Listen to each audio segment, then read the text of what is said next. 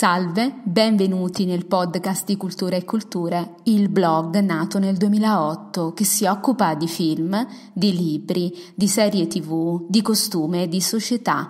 Io sono Maria Ianniciello e oggi di cosa vi parlo? Scopritelo dopo la sigla.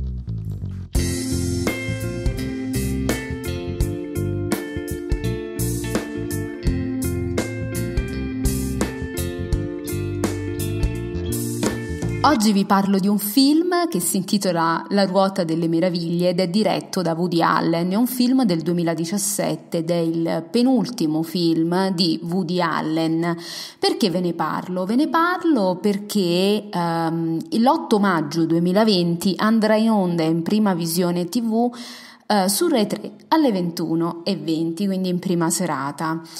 E cosa ha di speciale eh, questo film? Premetto che io personalmente ho un debole per Woody Allen, mm, quasi tutte le sue pellicole mi, mi piacciono, mi sono piaciute, ma questa in particolare, oltre appunto alla, eh, a un giorno di pioggia a New York, che pure ho recensito su Cultura e Culture, un giorno di pioggia a New York è il eh, è il film del 2019, l'ultimo film che è uscito.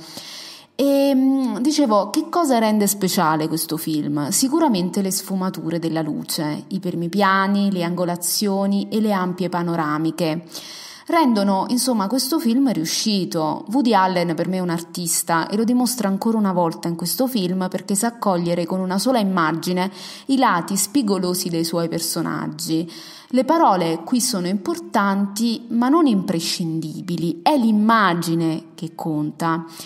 E mm, nel cinema di Woody Allen l'immagine si mette a servizio del contenuto della storia. Um, e proprio per dimostrarci quasi sempre che non esiste buono o cattivo, perché in ogni persona si nasconde il lato ombra che se schiacciato appare con conseguenze destabilizzanti per tutti. Come nel più che riuscito Blue Jasmine, anche nella ruota delle meraviglie la frustrazione di una donna l'asse portante. Questa volta però Woody Allen trova un'alleata in più ed è la luce che qui si manifesta in tutta la sua prepotenza. Eh, difatti, attraverso la luce, il cineasta dà voce, forse come in nessun'altra pellicola antecedente a questa, eh, dà voce a tutte le sfaccettature emo- emozionali. L'amore si tinge di rosso, rendendo armonici i volti, mentre quando l'animo si raffredda, la luce acquisisce le gelide tonalità del blu.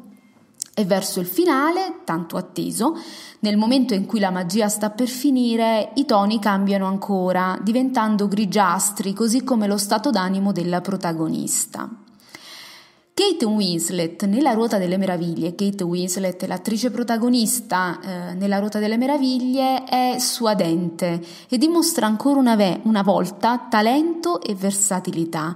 Il suo personaggio infatti è in bilico tra emozioni discordanti che non la rendono né buona né cattiva a prescindere. E veniamo alla trama. Siamo negli anni 50, proprio come in Café Society. Um, Café Society era ambientato uh, negli anni 30.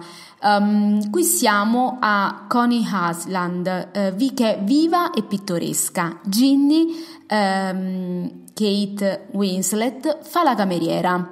Frustrata ai limiti della sopportazione, deve fare i conti con la certezza del marito Ampty.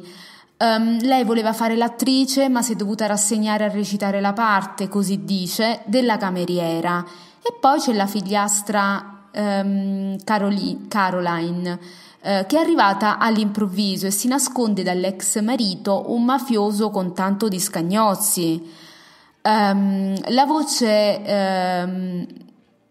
narrante è quella del bagnino Mickey Justin Timberlake che si rivolge allo spettatore rendendolo parte attiva e questa è un po' la caratteristica del film. La commedia diventa come sempre dramma anche in questo film dalle atmosfere teatrali e retro. I temi sono gli stessi delle pellicole precedenti ehm, e anche forse pure della pellicola successiva, per certi versi, ma le soluzioni che Allen offre sono diverse. Nel film una menzione a parte merita il figlioletto di Ginny, che è piromane. Perché questo ragazzino ha la mania di appiccare il fuoco e cosa rappresentano le fiamme se non il desiderio di rendere più passionale un'esistenza arida e priva di, bio, di brio? O forse in questa ossessione si nasconde il bisogno atavico di ricevere amore e attenzione? Insomma, c'è molto da osservare in questo lungometraggio, tanto. Quindi magari vi potrà apparire un po' lento, sopra le righe, eh, però se osservate vedrete tanti particolari. Um, e cerco di non essere di parte. Ritengo dunque che La Ruota delle Meraviglie sia l'ennesima pellicola riuscita di un Woody Allen che non smette di stupirci e che attraverso la macchina da presa compie un altro miracolo, rendendo straordinario l'ordinario. E questa è la caratteristica un po' del cinema di Woody Allen. Ci sono film più belli, film meno belli, però quello che Woody Allen riesce a fare è rendere straordinario l'ordinario. Mm, ci riesce attraverso le musiche, le scenografie, i costumi eh, e in questo caso una fotografia magistrale che sorprende. Eh, non sarà il miglior film mh, mm, di Woody Allen, questo qui, La Ruota delle Meraviglie, ma devo dire che mi ha convinta.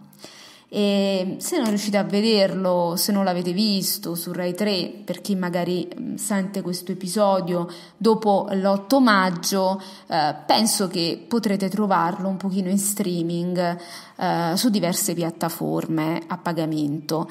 Vi, vi ringrazio e alla prossima.